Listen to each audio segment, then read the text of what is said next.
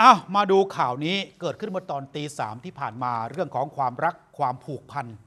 และก็ความหึงโหด แล้วก็นำไปสู่ความตาย เขาบอกว่ามีหนุ่มหึงโหดเนี่ยบุกคอนโดมิเนียมของแฟนสาวนะครับ ไปไล่ยิงแฟนใหม่ของอดีตแฟนสาว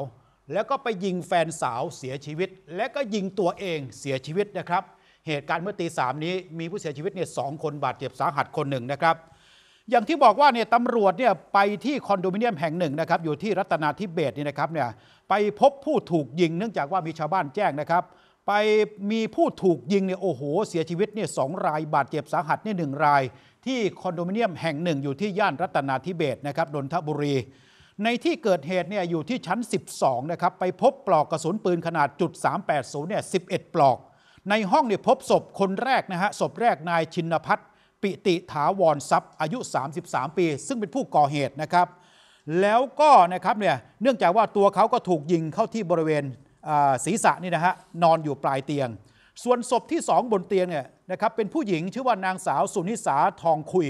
นะครับถูกยิงด้วยปืนขนาดจุด380เนี่ยนอนจมกองเลือดอยู่บนเตียง และก็มีผู้บาดเจ็บอีกคนหนึ่งนะครับชื่อว่านายวีรพงศ์ปานนรงค์นะครับถูกยิงด้วยปืนขนาดเดียวกันเข้าที่แขนซ้ายนะครับบาดเจ็บ หน่วยกู้ชีพก็นำตัวส่งโรงพยาบาล ครับ จากการสอบถามนี่ทราบว่าเมื่อเวลาประมาณสักตีสามที่ผ่านมานายชินพัฒน์ผู้ก่อเหตุ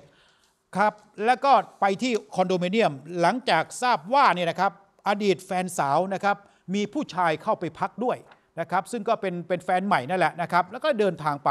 ไปถึงปั๊บเนี่ยนะครับไปที่ประตูห้องพักใช้มีดที่พังประตูเข้าไป พอเข้าไปปั๊บไปต่อยกับแฟนใหม่ของแฟนสาว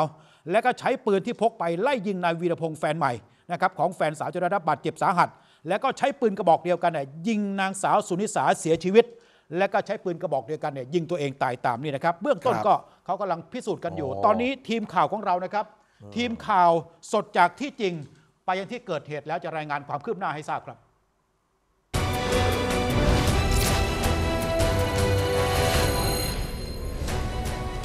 คุณสมศักดิ์ครับ บรรยากาศล่าสุดเป็นยังไงมางครับเชิญเลยครับตอนนี้นะครับผมอยู่ที่บริเวณคอนโดที่เกิดเหตุนะครับซึ่งอยู่ริมถนนย่านรัตนาธิเบศจังหวัดนนทบุรีนะครับแล้วก็ด้านหลังของผมนี้นะครับก็เป็นรถของผู้ก่อเหตุนั่นก็คือสามีของอดีตภรรยานั้นนะครับเนี่ยนะครับก็คือมาจอดตรงบริเวณนี้ก่อนที่จะเข้าไปลงมือเมื่อคืนช่วงตีสามที่ผ่านมานะครับ โดยเมื่อคืนนะครับเหตุเกิดเมื่อช่วงเวลาประมาณตีสามนะครับ โดยผมได้พูดคุยกับทางผู้หญิงที่มาด้วยนะครับก็คือมากับทางนายชินพัฒน์นะครับก็คือผู้ก่อเหตุหรือว่าสามีเก่านะครับ ก็ได้เล่าเหตุการณ์ให้ผมฟังว่า เมื่อคืนช่วงเวลาตีสามนายชินพัฒน์นั้นได้ชวนตัวเองมาที่นี่นะครับ โดยบอกว่าตัวเองเมาไม่สามารถขับรถได้ จึงจะให้หญิงคนนี้นะครับขับรถมาให้ พร้อมกับบอกว่าจะไปเคลียร์เรื่องดังกล่าวกับทางอดีตภรรยานะครับ พอมาถึงนั้นนะครับก็ไม่สามารถขึ้นคอนโดได้นะครับ ต้องไปขอกับทางผู้ที่ดูแลคอนโดนะครับ โดยบอกว่าลืมคีย์การ์ดจากนั้นทั้งคู่ก็ขึ้นไปด้านบนนะครับ พอขึ้นไปทางผู้หญิงเพื่อนสนิทคนนี้นะครับ ก็บอกว่าเขาไปส่ง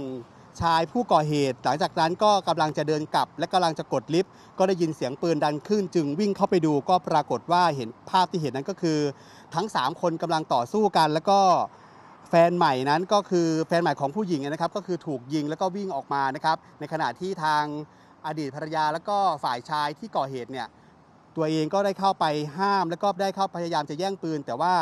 ฝ่ายชายที่ก่อเหตุได้อาศัยช่วงชุลมุนนะครับ ได้ผลักตัวผู้หญิงลง แล้วก็ใช้ปืนนั้นกระหน่ำยิงอย่างต่อเนื่องนะครับทำให้เสียชีวิตดังกล่าว โดยชนวนเหตุที่เกิดขึ้นนะครับน่าจะมาจากการหึงหวง แล้วก็เรื่องทรัพย์สินหลังจากทั้งคู่แยกทางกัน แต่หลักๆ น่าจะมาจากเรื่องการหึงหวง เพราะว่าฝ่ายชายที่เป็นแฟนใหม่ของภรรยาเก่านั้นนะครับก็เป็นเพื่อนสนิทที่รู้จักกับก่อเหตุมานานกว่า 20 ปีครับ ไปฟังเสียงกันครับกำลังจะปิดลิฟต์ก็ได้ยินเสียงปืนหนูก็เลยตกใจแล้วก็อุดหูแล้วก็วิ่งออกมา แล้วก็ใช่อะเข้าไปในห้อง คือเข้าไปในห้องคือเห็นสภาพห้องคือแบบว่าประตูพัง แล้วก็